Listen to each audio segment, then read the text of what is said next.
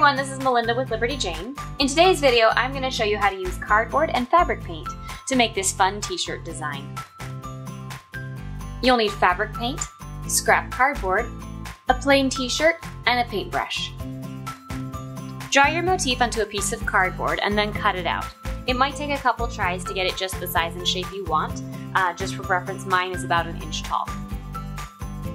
Then cut a strip of cardboard to be your handle and hot glue it to the back of your piece. Use the paintbrush to ink up your new stamp and then give it a couple of trial runs on a piece of scrap fabric.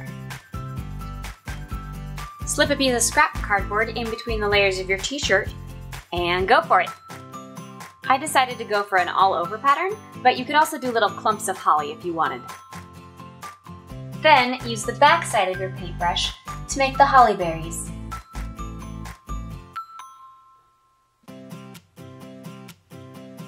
When you're done, set the shirt aside to dry. When the paint is dry, follow the manufacturer's directions to heat set the paint. And that's it. Thanks for following along today, guys, and I hope you have fun with this.